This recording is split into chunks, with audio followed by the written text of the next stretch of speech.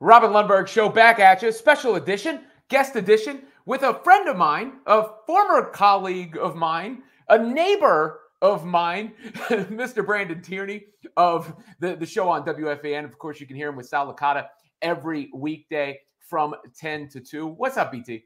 Robin, how you doing, buddy? Can you hear me down the street? yeah.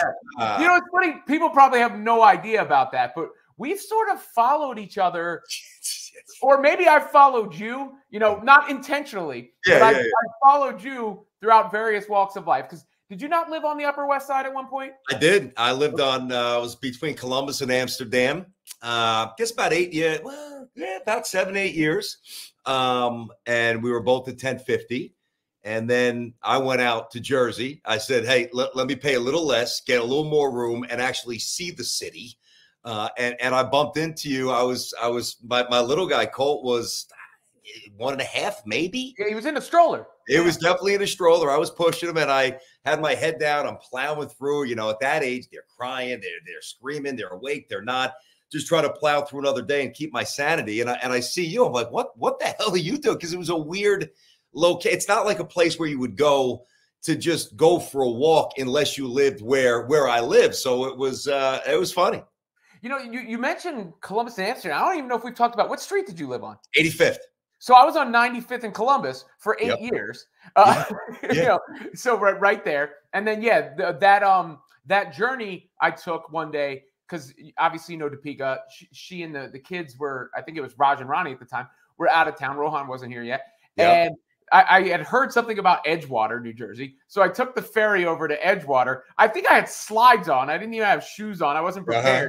But I get to River Road over there and I'm like, what the hell is this? I had Yeah. no idea this existed. And I walked all the way down. Then when I bumped into you, you vouched for it.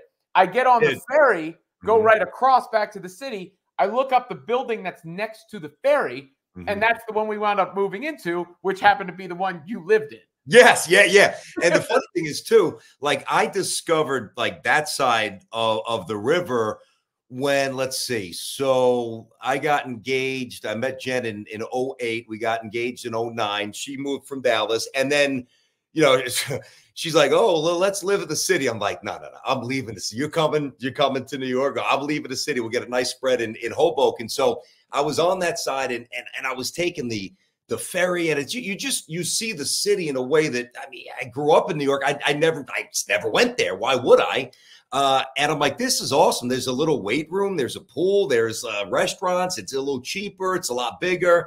I, I absolutely loved it. And the crazy thing is or at least the cool thing is it's really an awesome transitional place when you when you have kids like when you're pregnant or when you're trying to get pregnant then when the kids are first born. It's it's it's so awesome because there's so many people, friends that you and I both have. We we get together for the pool party at the Christiansons every every year when a bunch of the uh, uh, the old neighbors and friends go go go at least the ones that live somewhat uh, near us still. And it, it's it's you know it's it's almost like it takes a village, and you've got the moms who are going through what they're going through, you know, breastfeeding and and obviously the daily rigors of, of being a mom. And then we're doing the same minus the breastfeeding, but we're going through the rigors of uh, different stuff. And it was perfect because once the moms stop breastfeeding and they can have their wine, they can go and hang out for a little bit and we could go by the fire pit and we could do whatever we got to do to get through the day and get through the week. So it, it was perfect. I loved it.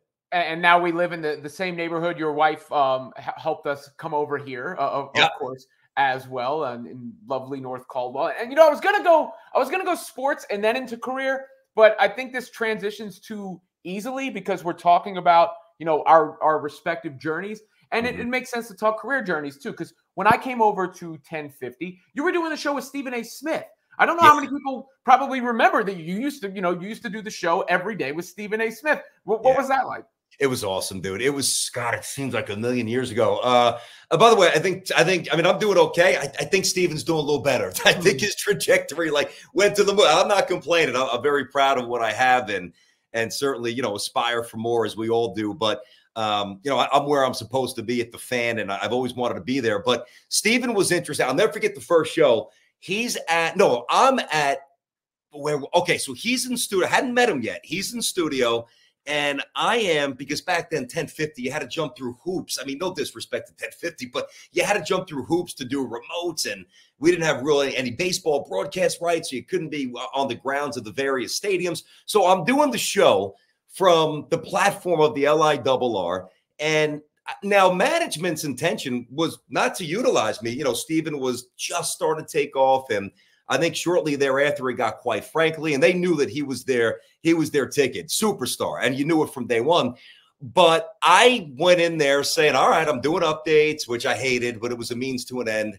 And if he pulls me in, you know, it's his show. I'll be respectful. I'm not looking to take anybody's knees out. I, I understand my role here. I'll do my weekend shows. I'll do my Knick stuff. I'll do my SNY TV show.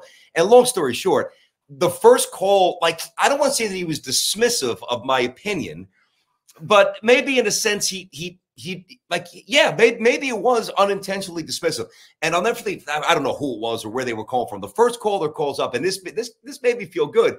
He's like listen stephen a you know i love you. I love your energy. I love your vibe. I, I love everything you're about. But show that guy a little respect. Bt knows his baseball you know? Mm-hmm. and and and and that's where i think steve was like oh okay. And because it was baseball season april 2nd whatever i remember tom Glavine was pitching and, you know, Steven, admittedly, was incredibly weak on baseball. Certainly then. He's gotten better. He's tightened his game up with um outside of basketball. He didn't well, I don't baseball. think he has to talk. I don't think I just don't think they talk about baseball. yeah, yeah. unless it's, yeah, unless it's like a steroid scandal or or something that is obviously not not necessarily good for the sport, but generates heat and clicks. And in New York, you know this because you've been on the air here for a long time. You got to you got to know baseball and got to talk it every day and the Yankees were in the middle of their dynasty. The Mets spent some money with Glavine and Pedro. So there, were, there was some hope in Queens to get a little renaissance. And as as the you know week went on, and then the weeks and the month and the months plural went on, he's like, man, this this guy is he knows his shit. Number one, but number two, and I think this is where it really really clicked. Like, you know, there was there was just a connection. Like I, I think that I think he he felt me. Like I'm from Brooklyn, he's from Queens. I love ball. He played ball. I played, and there was just an early, easy vibe. And he pulled me in more and more. And management hated it. And I just ignored them and he ignored them. They'd come running in, get him off the air. It, it's your show. And he's like, what, whatever. I love this guy. He's he's part of the show. So so that's how it started with Steven. And uh, to this day, you know, I, I still talk to him. He's always been very, very complimentary. You know, first take, if, if I text him about something, not, not that I want him to say my name, but he's like, you know, if it's about the Jets or something, He's like, yeah, my boy BT just texted me. You know, Brandon Tierney. He, you know, mm-hmm. he's good dude. He's, he's my brother, and and he'll go in whatever I may have texted him about. So he he's always showing respect, and I love the guy, and he is the he is the top dog. He is the he's an absolute beast. Yeah, well, when I started there, I was a producer for Stephen A. Show, and then for for Max Kellerman Show, got called into the principal's office a bunch, figured yeah. out different ways to, to work myself on air. But you know, yeah. I, I I've been very open with this audience. They know my journey. They know the struggles that I'm currently going through. Yeah. But you know, a lot of times people will see it from the outside and they don't realize the journey. I mean, you talk about being tough. I mean, you took some punches on the chin and got back up, right? I mean, I when, I when Ryan and I came together and, and, we did the show, the time slot they put us in was the time mm-hmm. slot you were in, I believe, with Jody Mack at the time. Yep. And, and yep. now you're back on WFAN in, in middays in New York. But there was a big time in between, but there was never a time where you weren't doing something or working your way to your next thing. Can you take people through that period from when you I, left 1050 to back to the fan? I, I definitely can't. Like it's, you know, first of all, in in the grind, there's there's character, you know, and you know, I didn't I didn't know anybody in the business. Uh, I had no connections. I went to Marist. I studied journalism. I played baseball, you know. So I, I always knew what I wanted to do. It was a very unconventional route, like you, you know, how you were able to carve out roles and insert yourself into the situation and then make those roles bigger. I, will never forget when they told, well, well, first of all, just to backtrack for a sec. So me and Stephen A are doing our thing. And, you know, there, there was no, we had no signal. It was just, we had no chance to beat WFAN. And, and I always thought, I've said this publicly, and so, so Stephen, like, if they would have just left us alone, and just let us be us. And we actually had a signal. I honestly think that we, we would have been we would have been number one. Like I, I can't prove that, but I, but I've always believed that. Now he still would have gone where he's gone, and and and and there would have been a split eventually. I, I understand that. It's not like I'd be on first take next to him forever. Uh, but the struggle for me was Stephen A. told them. Well, they gave me the choice. They're like, hey, you've earned your own show. And they wanted to give me an evening show. I think it was seven to 10. And I was doing the Knicks stuff at that point too, pre, post, and halftime. And, and I was very, very involved in a lot of things at the station. And I wanted my own show. I didn't want to leave him. I remember talking to him. He's like, dude, you need your own show. You, you need your own show. This is my show. He's like, you're a huge part of it, but the way their vision, blah, blah, blah. So that that kind of reaffirmed in my own mind that it, that it was time to jump on, on my own a little bit. But you know, my career – it's it's never been linear. It just it was never easy. I graduate Marist. I go to Allentown, Pennsylvania. I'm doing morning shows. I'm making peanuts, sixteen thousand dollars a year in 1999. Um, I'm doing high school football games, 50 bucks a pop. I don't even know how to do play by play, but I said I could just mm-hmm. to get 50 extra bucks so I could go out on the weekend. Um, and then the station was sold, and I went to Las Vegas, rolled the dice as an update guy um, with a weekend uh, Saturday and Sunday slot on a national show. And there were some big names there, Rome, Ferrall. So I knew it was a good place to be. And and then and then they disbanded and they got bought out and that dissolved. And then I wound up one of the affiliates that I was on was Detroit, the fan, which no longer exists, but was like XYT now just destroys it. They're pulling 13, 14, like their numbers are insane. But back then, we were the big, we were the big show in town. They were number two. And since I was on the fan a lot, picking up my weekend stuff, their boss, Greg Henson, former PD, who who's probably one of my greatest champions, he's like, listen, get out here. Uh, I, I can't, I don't have a show for you right away. Stuff's coming. Trust me. Robin, I was actually doing the, the, the weekend shows and I was delivering mail. I swear to God, I was taking mail from the sports station to the R&B station to the political station like I was just hustling. I was mm-hmm. driving the car like I was doing whatever I had to do to get to get on the air.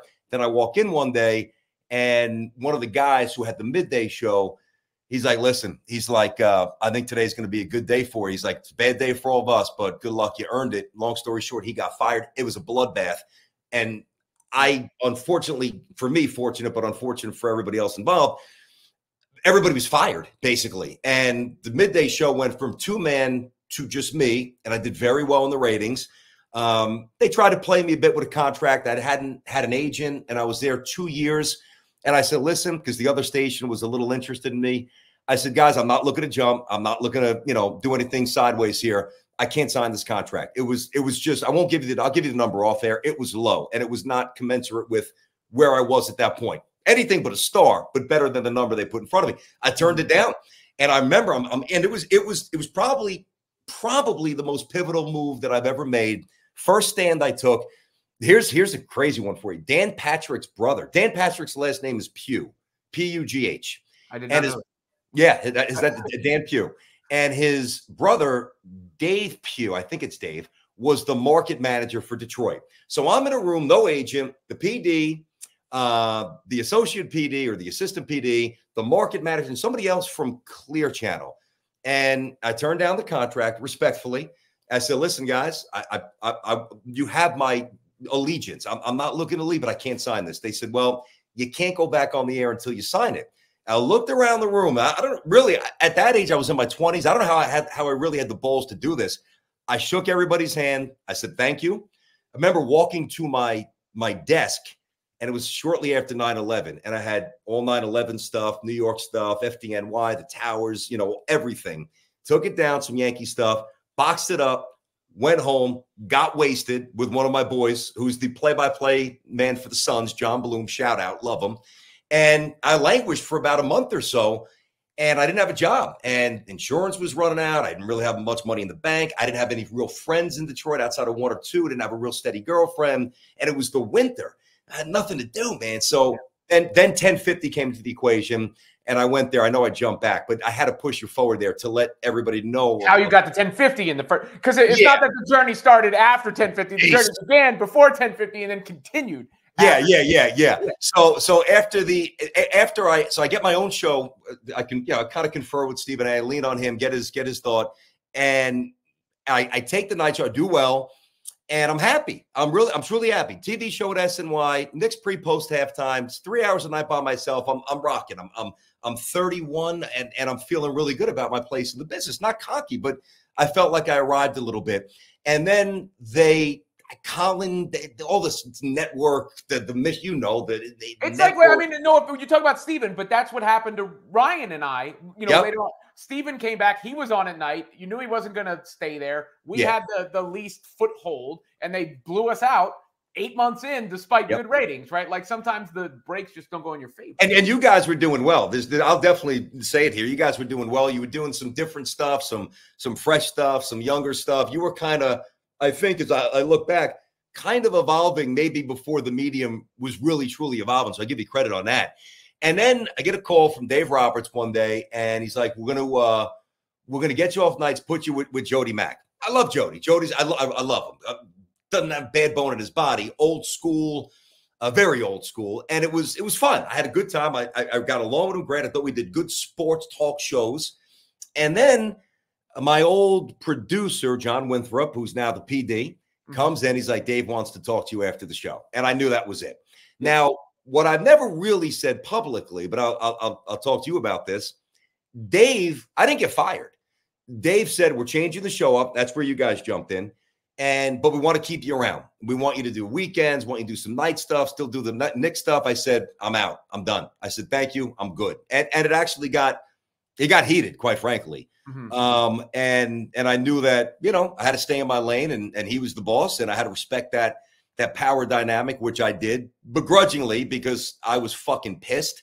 And I and I definitely I was done dirty. There's just no way around it. There's no way there is no way the 1050 should have gotten rid of me. They just shouldn't have, or or marginalized my role, but they did. So now I've got a decision. I'm living in Hoboken, just married, no kids yet, and I'm like, in in a way, Robin, it was galvanizing because 1050 was going nowhere at that point with that signal. I knew it. FAN still had, you know, Mike and Mike. They, they, they were on lock. Joe Benigno, the morning show was rock. There was there wasn't a slot for me. So I was curious if my phone would ring. At that point, I'm, I'm a free agent. Yeah, I've been a free agent before, but nobody knew me. Now I got work out there, TV, radio. Let's see if it rings. And it did. And it rang, thankfully, pretty quickly. Um, Chris Oliviero, who's my boss now, and uh, the best. Chris is, you know, Chris, he is awesome. He like, there's a lot of cool bosses and good bosses. There's not very many loyal bosses toward talent. And Chris has your back. But I'd never worked for him. So he's like, listen, he's like, I got, and Chernoff was involved in this as well. And I love Mark.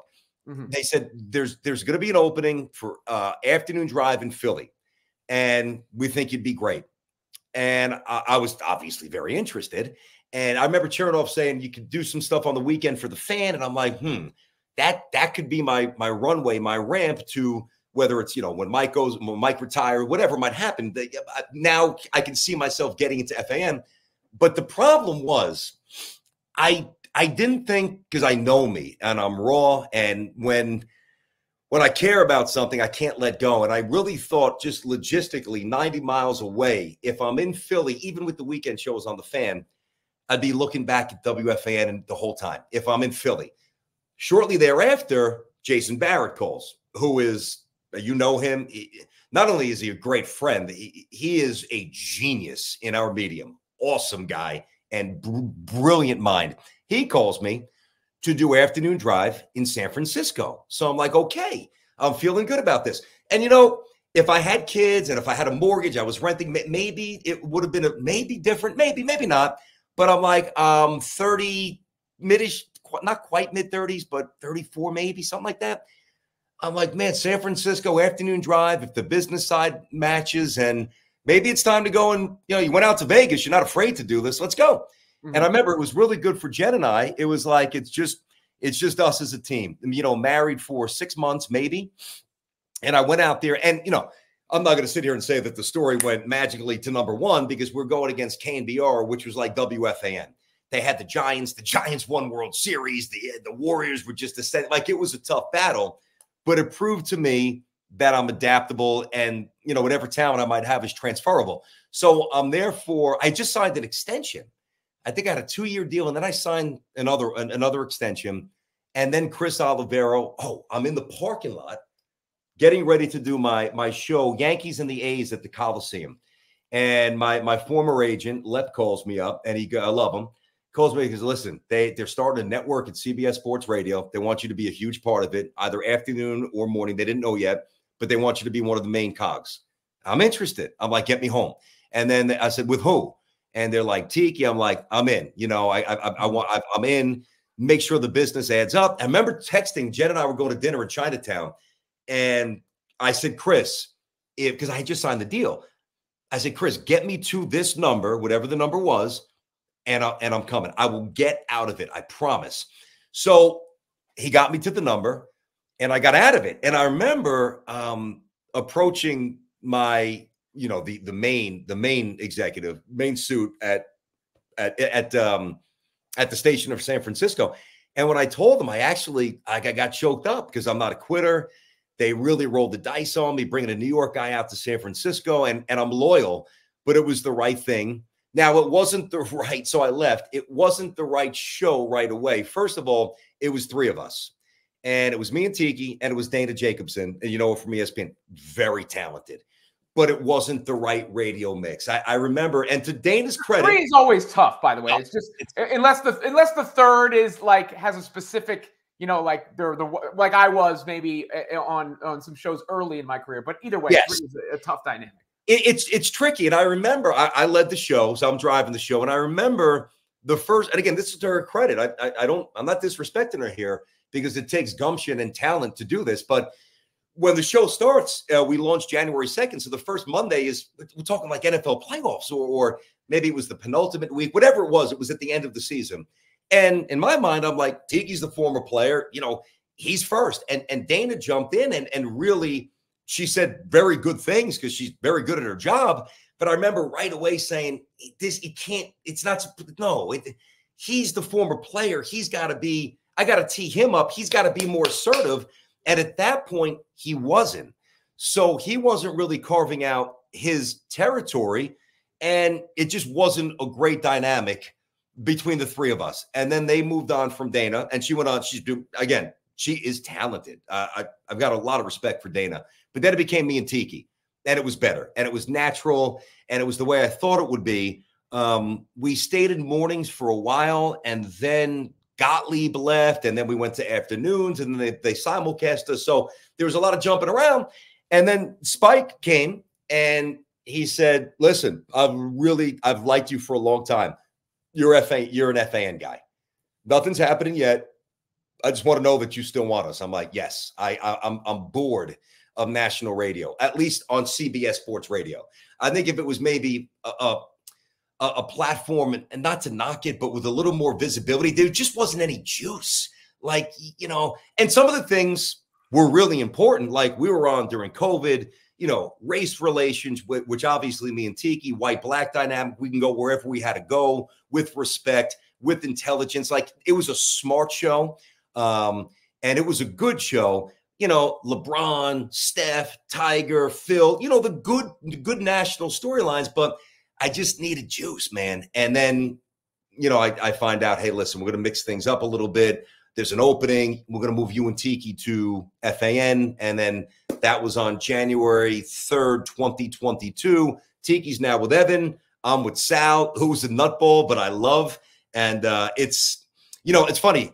The thing about our show now, in my mind, as I look back, I don't even know that I really thought about this in real time when I was with Tiki on the fan. But the show that I'm doing now is the show that I always envisioned when I dreamt of going to FAN, falling asleep to WFAN, being in my car, going to play baseball or going to, you know, going to a construction job during the summer to make a few, but whatever it was, I listened to the fan and that energy, that Mike and Chris just craziness.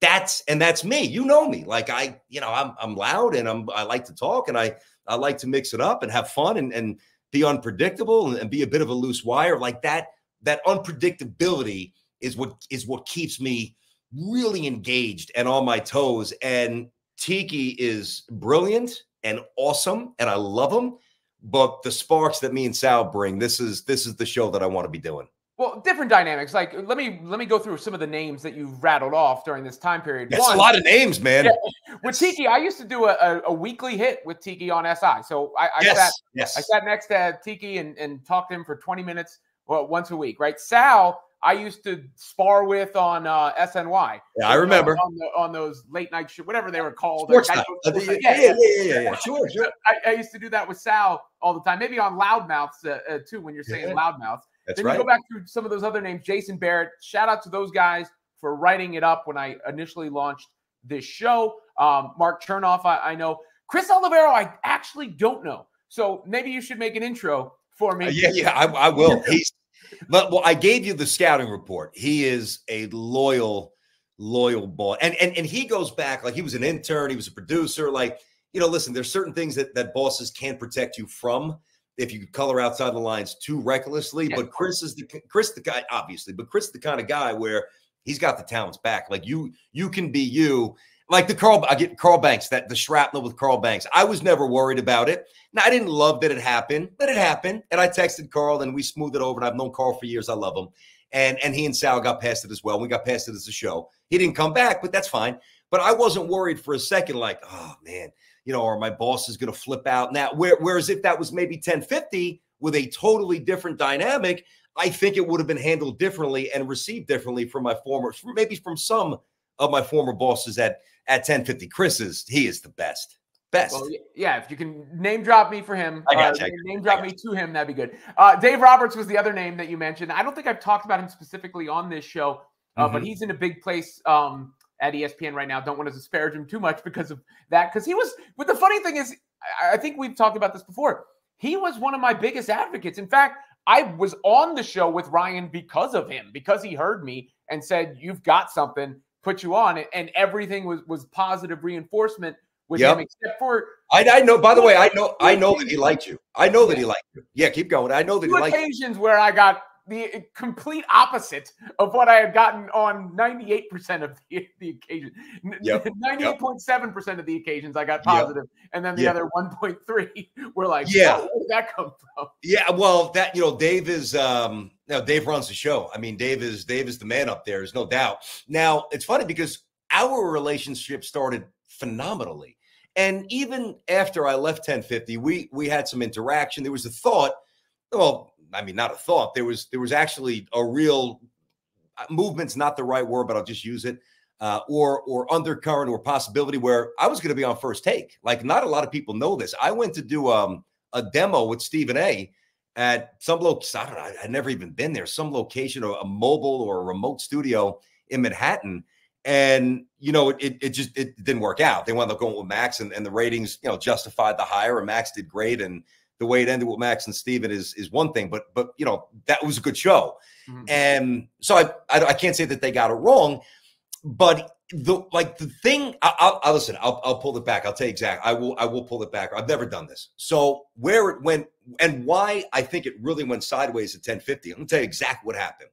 We remember we used to do at the at the DAC like lunch with a legend. Remember that with 1050? Yes, I I, I do. I, I did a lunch with a legend with uh um uh, Steven.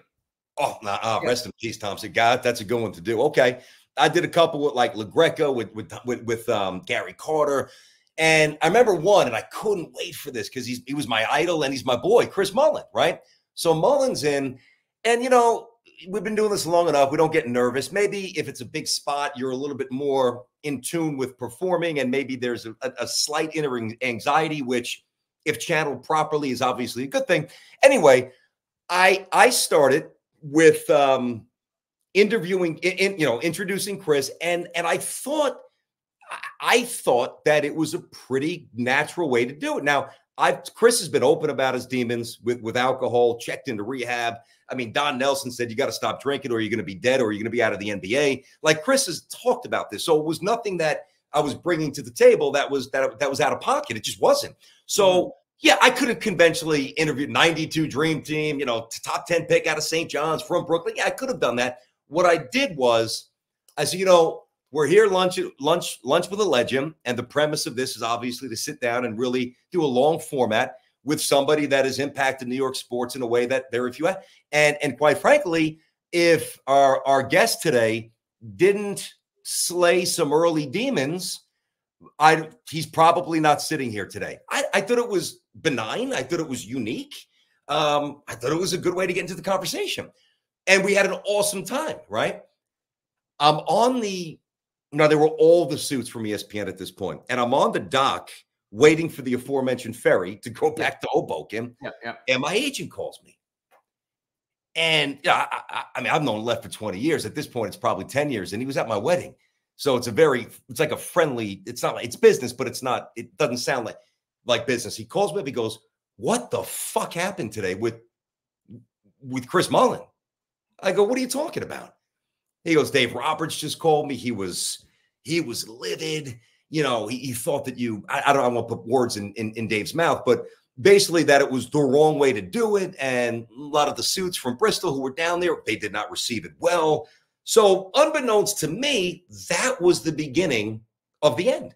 That was the beginning of my end there. Um, and you know, I, it, it's odd because before that, I remember being out with Jen. We were in Little Italy having dinner, and you know, I, I love Gallinari. You know, all over Danilo Gallinari. He's going to be this. He's going to be this. He's going to be the next Dirk, right? And I remember I'm out to dinner, and I think Jen went to use the restroom, and I don't even think it was a text. I think it was an email from Dave, Dave Roberts.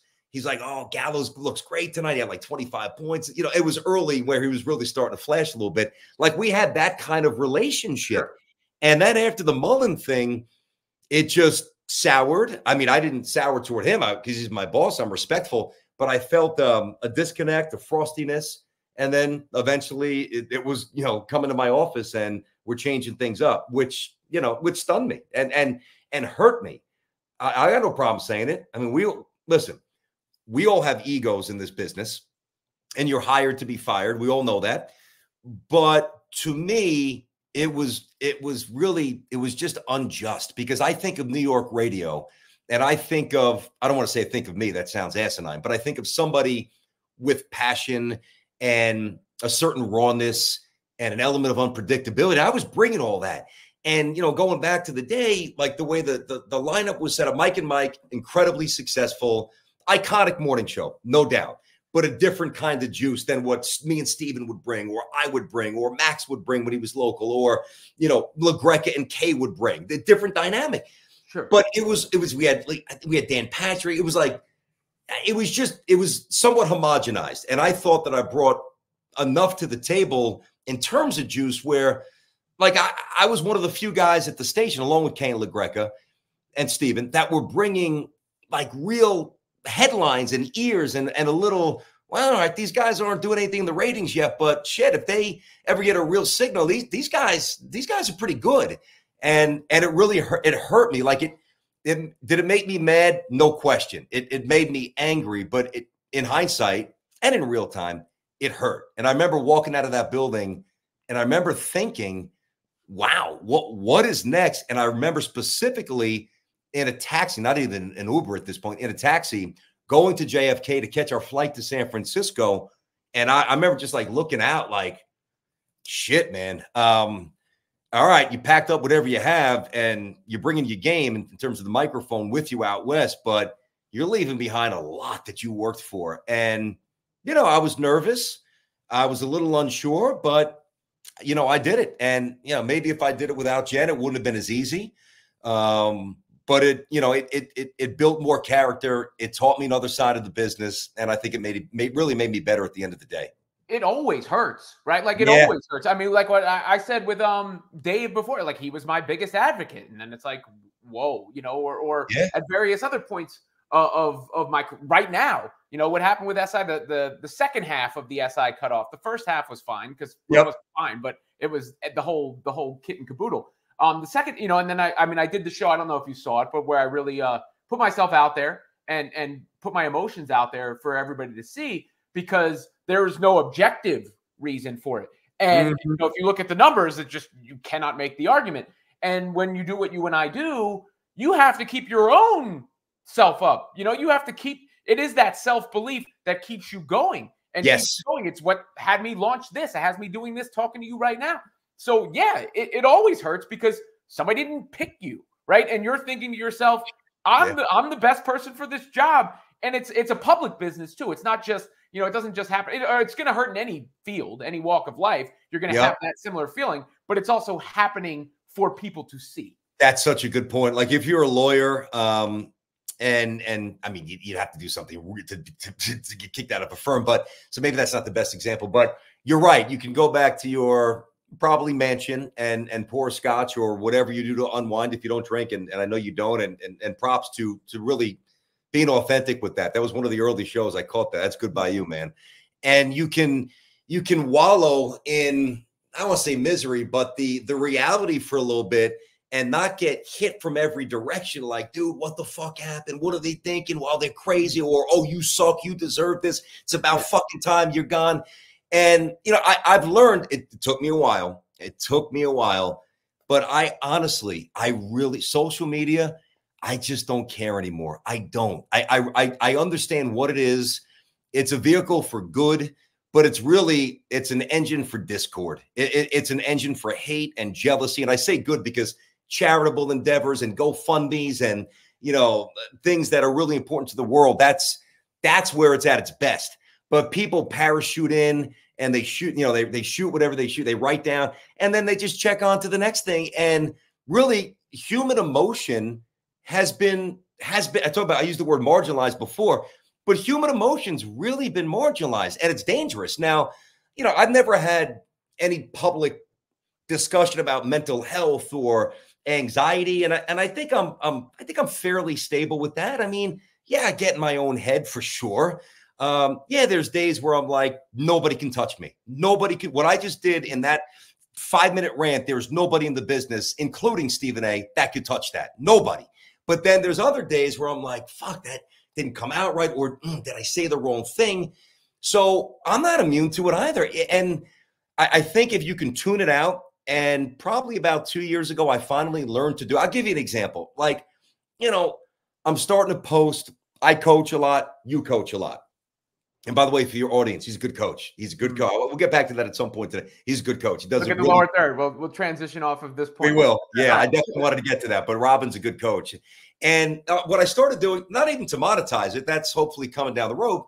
But you know what? I'm inspired, and it hit me. I guess two weeks ago, I dropped Colt off to um, indoor baseball workout, and it's his club team. So there's no daddies watching. It's get you know, drop your son off. It's high level stuff and leave. Get lost, right? We we got him, and and I get it. So I'm in the car and it's raining, and I'm like, you know, just I don't know. I just feel like talking to people. I, I did about a five minute video about youth coaching, some of the perils, and then I did it again last night. Maybe every week or two I'll drop it when it when, when it inspire when I'm when I'm inspired, and those comments I'll look at because I want to interact and engage with people, right? Mm-hmm. And even in something that is purely rooted in good, I'm not knocking a player. So it's not like, oh, this guy's a fan of the Mets and he thinks I said something about Lindor, so he hates me, or Daniel Jones if he's because I'm a Jets guy, whatever. It's not even that. It's about the most pure thing in the world kids coaching, giving up time, and, and more specific, because I'm not looking for met, a medal. Every a lot of people do it, but more specifically, taking what I know because I did play at a high level Division One, and I think I'm a decent coach. I try to be pretty good, um, certainly engaged and and and and give as much time as I can. Uh, without dropping dead from exhaustion. And there's actually comments like you're a buffoon on the radio. And, and there's a lot of really good ones that make you feel good, but sure. nothing that is applicable to what the content is about. And I see that. And back in the day, I, I, still wouldn't fire off because I watch what I write. I'm still very smart about that, and, and I won't deviate from that. But that would have bothered me. And now I'm I just see it. I'm like, dude, if you're that miserable to parachute in on a good thing and try to twist it into a bad thing, that's a you problem. That's that's not my issue. Yeah, no, I mean, look, uh, you're right. There's there's a lot of of that out there. The, I guess the the plus side is there is more ways to get yourself mm-hmm. out there and, and cut through and, and start your own thing and all that. But there's the perils that come with it. But let, us just piggyback on the, the coaching of the kids thing because that is a, a pure thing that we're both into. You know, we, we are very, we're similar, but very different, right? Like, yep. I, I, think that's a fair way to put it. You know, we've, we've had similar career paths, similar interests, but we have different personality types, different yep. approaches to things. But we, we both really love coaching the kids and working with them. And, and um, I don't think, have you, I don't, you, you haven't coached my kids. Uh, no, no, I don't no. think no. they haven't played. You know, you're you're really in tune with the baseball, and, and Colton, your son, is a phenomenal athlete and a, a super competitor. Thank um, you. But you know, what what is it about that that resonates with you so much because you know we we do have our I think I'm a little bit more intense than you probably realized as a coach, but I also am yeah yeah, yeah. I, I, I have a different you know sort of motivational style at the same time. Well, first of all, you know what you're talking about. Let, let's start with that. And my first experience, um, and, and I'll give you an answer like what what like what is appealing and, and why I gravitate to it. But first about you, like so I know you played a lot of soccer.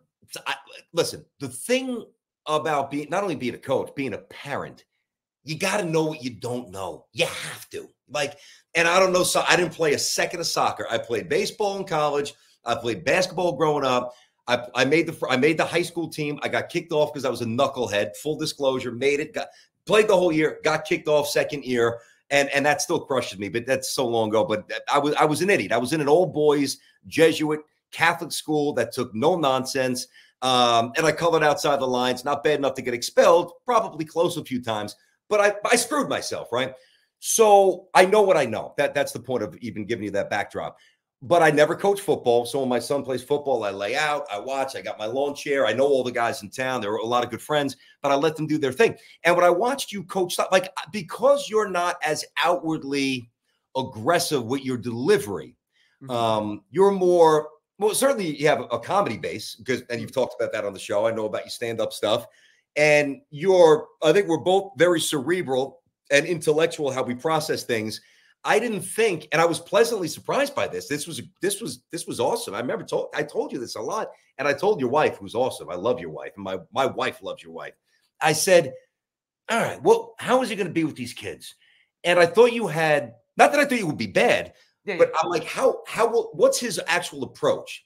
And you were more direct, and you you held the kids accountable. I think number one, you teach, you inspire. Uh, I think you've got great adaptability depending upon the level of talent, which is imperative. D- depending upon the level of maturity, you could have an incredibly talented kid who's less emotionally mature.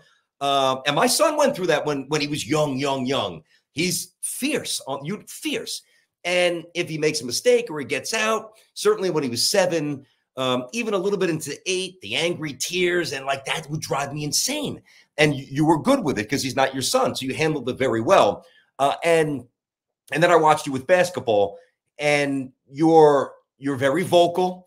Um, we, there was there's a league, just so everybody knows. It's it's it's called Upward. It's basically like CYO. It's first and second grade. Oh, well, it's first grade and then it's second, not not jointly, but it's first and then second when you when you get on to second grade. And it's a great introductory. It's like it's it's a small court. The rims are eight feet. Everybody there to have a good time. Um, but you want to win and you want Raj to be to be to become a good player, right? And I want to win and I want my son to become a good player. So I'm watching you and I'm coaching, but I'm watching you when you're coaching and you're barking out there, watch back door, set the you know, communicate let them know there's a pick. Like, I don't, I don't know too many people who are doing that with first grade kids. We both do it. And you do it in in an intense way that I didn't, but not an overbearing way, um, in a very locked in way. And I think that that is that's that's very impressive, dude, because anybody who coaches and volunteers their time, they are rooted in good. Okay. But that everybody knows that. But I think what separates the real difference makers. Do you know the game? Can you communicate what you know to the kids?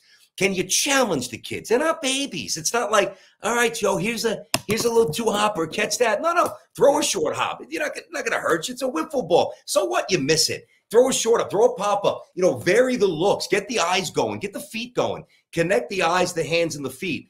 And and those are things that that I always did, like with Colt in the backyard. And then when I started coaching him and even Kinsley's softball team, uh, and and and I saw you do that stuff, and I was just very impressed, man. You, you're a good coach. I told you that. No, you have, and thank you. And, and, for all the connections that we've had over the years, I don't want to um, fool the audience to to say that we were like great friends or anything. No, we weren't. No. Um, and, and and I do appreciate um, the kind words you've had for me and the the relationship we we've begun cultivating since we've been over here. So I'm putting that to you, and I'm putting that out for everybody to hear so that you can hear me saying that to you in front of everybody. I appreciate that. Now, yeah, because we we are similar in a lot of things, but we're very different in a lot of things. And quite frankly, Rob, here's the bottom line. You know, I remember this is going back a ways in the conversation today. But when I met you and I had the apartment, I'm like, hey, this place is pretty good. And then you wound up moving there. And then obviously we're basically down the street right now. I remember Colt was just born.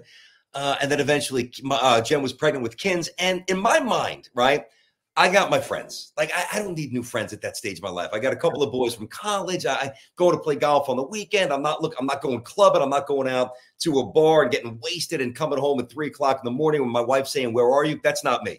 Now I'm going to have a little fun. I'm to whether it's a fire pit, whether it's on the golf course. I'm to I'm going to carve out space to unplug. She knows it. She's awesome with it. And when I unplug, I can unplug. I, I can have fun. And I I can I you know I can I can get after it a little bit. But I I remember her telling me like you, you got to come out or you got to meet the dads. You got I'm like, I don't want to meet. I, I really don't want to, mm-hmm. especially, and you could relate to this when you do what we do for a living, because invariably, and, and I appreciate this, but it can be overbearing and exhaustive sometimes. When you meet new people, let's say you meet seven guys uh, between the age of 35 and 45. Of the seven guys, five are going to know what you do. If, if, if they're even remotely locked into sports, probably more. And I get it because if I was a lawyer or if I was a whatever, and I was, you know, in a group with with a guy who was a sportscaster, you know, did it for a living, and I love sports, I, I want to talk sports. I, I get it, and and I, I'm very giving of my time, but I didn't open my mind up to meeting new friends, and and I think that applies to us. And I remember, I don't, hopefully you don't mind me saying this, I remember we were at a party about a month and a half or so ago at Montclair yeah, that's, that's why I just said what I said to you just now oh, because okay, of what so, you said to me then. Yes. Okay, that's what you're referring yeah. to. I yeah. even told Rob because I think I'm more extroverted, more whatever. And once you know Robin, Robin will open up, and Robin's got a huge heart. But I even told you, granted, I was uh, we were both a little bit uh, a little sideways, having a good night, but not not I was. Oh, I wasn't. Okay. yeah, I got you. Oh, you don't drink anymore. You would, you know, and I, I, I, don't want people to think that you were drinking when you don't drink. Maybe we were doing, you know, having a good time with some other stuff. And I remember saying, I'm like, man, we, I remember we were in the back of the party and the girls were dancing, whatever they were doing. And and I was like, man, I'm like, you are hard to crack. I'm like, you are hard to become friends with. It, it, it, basically, those words. And I'm like, I'm putting out there because our wives are so close and they trust each other and they they get along amazingly. Now, even if we don't have that, I'm like, I got to find a way for me and Robin to get not on the same page because we were never enemies or never, but we we were never we had never connected. I'm like, it's time. We're in the same neighborhood. We coach our kids. I mean, same age. Let's go. And you were just very receptive. And I figured you would be. That's why I said it. And really, since then, um, I've noticed a little more um, openness maybe on your end. And and I think when I see that, I, I think I deliver some more openness. So I'm, I'm happy I said it. I'm happy you received it. Well, you know, and I'm, you know, anybody who's in the audience will know how open I am in that, uh, in this forum, um, in, in that sense. And when I do get emotional, it's very, sometimes, you know, I'm in that, that night, I think was fresh after what had first happened. So I'm trying to keep myself strong, yep. myself together. And there's a whole bunch of people I know who I know know, right? Yeah. yeah. You know, like so I go in knowing that they know, but I don't want them to see it, you know, it, it, it's like that balance of letting yourself feel and deal with it, but also keeping yourself up. So maybe I put a little bit of a wall up in Got regard it. because of that, if that makes sense. It does. That was a fun night too. That was a fun night. That's a good night. That's a good night. I'm not even gonna get into the sports thing. Last thing I want to get into because I'm going to um WrestleMania. Uh, oh, that's right. Yeah, with this weekend. When this airs, it'll be tomorrow. We're going. Sweet. So, uh, you you dressed up as Goldust oh, on the air. Do you know who Goldust is? Yeah, I mean, I mean, it, it, loosely translated, I feel like he's everything, isn't he? Like, there's been so many variations. Well, well I mean, you know who his brother is? Yeah, his brother is Rhodes. Yeah, Cody Rhodes, is, yeah, yeah, who, is, yeah. who is who has been in this feud with The Rock in a yes. sense, and is yes. main eventing. So he's he's in a tag match, Cody Rhodes and Seth Rollins against The Rock and Roman Reigns on night one. Night yep. two, Cody Rhodes is looking to finish the story against Roman Reigns and end what has been a three and a half year championship reign. That long. which is yeah a long time in today's day and age. Roman's been the champion for three and a half years. Good um, run. That, yeah, he, yeah, if he makes it to September, he would break Hulk Hogan's record for the modern era. Then the only person ahead of him would be Bruno Sammartino. What, well, what about Backlund? Because Backlund and my early old school stuff is better than my stuff now, admittedly. But Backlund had the time. Backlund got the belt. I feel like Bob Backlund, and he was a boring champion. He was actually a real wrestler, as you know but he had no, no, no stick game. He was horrible on the mic. He was boring. He just had no pizzazz, but he could wrestle. He, he was tough dude. Um, and, and and and he was over. You know, not like Bruno because the Italian New York thing, but Bob would make money. I think that Bob Backlund may have had it for two thousand plus days. I'm looking at it now. Five five so, years. I'm thinking yeah. the uh well, when I say the modern, I'm thinking like Bruno Sammartino and Backlund are sort of before that because yeah, yeah, I got you. Before it was on TV and, and, everywhere. So Hulk Hogan to me is like the start of the modern era. Uh, understood. Understood. That. Yeah. Oh yeah, yeah, yeah, yeah. Who's your favorite you know, of all time? The funny, the funny thing though, Rob, about the Goldust thing, you know, that's something. I don't think I would have done that a couple of years ago. I, I don't, I don't, I don't know. Like I wouldn't have welched on a bet, but I probably would have put myself in position to be um, to have to dress up. Remember, I was at the mercy of whatever Hoff. It was it was a show thing. It was me and Sal and Hoff, and it was a you know culmination of NFL. I love Hoff, by the way, good guy. Hoff's the best. Hoff is a true. He's he's he's a great dude, and he's funny. He's authentic. He's he's good people. I love Hoff. And the losers, plural, were subjected to whatever the winner made them dress up as from a WWE perspective. You could not. You had to do it. It could have been Afa and Sika. It could have been Fuji and Saito. I mean, it could have been Bam Bam Bigelow and uh, the the big boss man. It could have been anything. It could have been Fabulous Moolah and Wendi Richter. I, I don't know. And I'm like, fuck it, let's do it. I now I thought I was gonna win, right? And me and Sal were saying, we're like, hey, listen, Hoff, all right. Once we knew he was gonna win, just don't make us sit out there for four hours because we had to do the show dressed in speedos. I mean, at the age of 50, I'm in decent shape, but yeah, I'm not looking for the whole world to see my dad bod. And same with Sal. That was the only concern. Makeup, dress, what a skirt. I, it, it didn't matter. Now, when he dropped the, and I finished in second place, and the second place winner got to choose of the two options. So I'm like, oh shit. Like then credit to Hoff because it was an unwinnable choice. I'm like, all right, if I go Goldust, you know, he's a drag queen, right? I, it, I mean, isn't that Goldust? What... Goldust preyed on homophobia in a sense before you know that was a much more accepted part Open, of, of yes. the culture. You know, he, he had gone against Razor Ramon, and, and I remember people like you know there were maybe certain words that were thrown out. Oh, okay. Goldust that got it, and you shouldn't say. No, uh, hundred percent. No, you said that, but you you you can't. It shouldn't can't say, say no. no, you you can't do it now for sure. So I'm like, all right. So, uh, but I also remember Piper and Goldust beating the shit out of each other in the, the van. And yeah. like he, he he he looked more masculine there. So I was so and there was also a lot of variation. So I went, I'm doing the, the Google picture hunt. I'm like, all right, if I do this, um, I, I, okay, that's the softest landing for Goldust. If I do doink, I'm a, I'm, I'm just I'm no creating. What, you know, like there's no when you do Goldust, there's a certain level of uh, you know, self dignity you have to be, or you know, to be able to put yourself out there on, on uh-huh. Goldust versus when you're a there's no way around a clown. You no. know, and, and, credit to Sal for me, but I think yeah, yeah, a yeah. that day that wound up blowing up. And oh, he's, oh. he's a clown while doing the take. Dude, dude, let me tell you something. When oh my god, the, what what Robin's referencing right now, we're both. It just find a picture, find it on YouTube. We look like complete wackos, right? And we did the makeup ourselves. We actually like I leaned into it. Uh, like we really, so did he. He did a great job with the clown stuff, and he was he was yelling, you know how he gets. I think it was about the Mets. And he's like, listen, oh, it was about a caller. And he's in a like mid rant. And, and I think, I think maybe the caller even called him a clown. He's like, yeah, that's great. You could call me, I'm not a clown. I'm a host on WFAN dressed as a clown. And he says, I'm not a clown. It was the funniest shit that I've ever seen. And, and we both leaned into it. And, and I, again, I don't know you know, I don't know if I would have been able, I wouldn't have enjoyed it, certainly. Again, I wouldn't have welched on the bet. I don't think I would have enjoyed it as much a couple of years ago.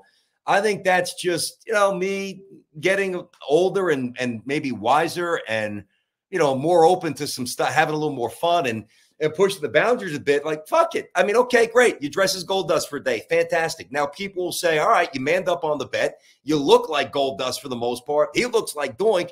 And let's do a show and look like idiots for four hours, and we did. I would have produced one of those Goldust vignettes for you and edited it as a video, and you could have posted it on social and everything. Yeah, yeah, I know. I will. I'm, I'm there. I actually like stenciled it out. Oh, I mean, it was. I'm like, I have to shave because I got to make sure it goes on smooth. Like it was a whole operation. I, I'm getting shit from Amazon for like a week straight. Gold makeup, black makeup. I'm, ironically, I'm getting ready to get a quick, quick workout in. I actually ordered this I just threw this on for the show. I ordered this for, I'm like, because I don't know exactly what I'm going to wear. I'm like, this, I know his colors. I'm like, just in case the other shirt that I ordered doesn't, I mean, I, I was jumping through hoops to look like this guy. Eh, it, it was actually fun. I thought that Hoff was going to make us doink and dink. Oh. That's what I thought he was going to do. Nobody knows who Dink is, so it was a good call. Goldust. Gold yeah. Dust is gonna. In fact, you need me to send send me a picture of yourself as Goldust. Jesus. I will make that the thumbnail for this episode. That well, I don't. Be, I mean, I don't know if I want that. You don't want that? Why are you there? Yeah, you talking about it. I'll, I'll text you. I'll text. Okay, Brandon, I appreciate you uh, taking the time, being so open. Uh, appreciate us becoming friends over these years. Thank you, man. Uh, you can hear Brandon Tierney, Sal Licata, Monday through Friday, WFAN, 10 to 2. Appreciate you coming on the show, dude. Dude, it's my pleasure, man. I I, I know uh, we were trying to get with this a while ago. It's taken a little longer than than we thought, but I, I always had this somewhere in my mind. I'm like, I I, got to, I want to do it. I'm gonna do it. I I appreciate the invite. Um, and just to reiterate, man, like um, I haven't seen everything that you've done with this, but first of all, you should be somewhere, you know, and you will be, and and you know that, and you're a talented dude, and you're smart, and you're funny, and you're unique. All right. But I think that the best thing that you did early on was that again that level of transparency when you talked about the drinking and you just if you're going to do something like this, there's only one way to do it, and and you tapped into something that that fits you well. So yeah, man. I mean, let's uh let's hit the fire pit one of these nights and uh you know have a good night. You know what I mean? Yeah, no doubt. And and remember, to drop my name to Chris Oliviero. I will. I will. I will tell him. I'll tell them, dude. All right, man. I'll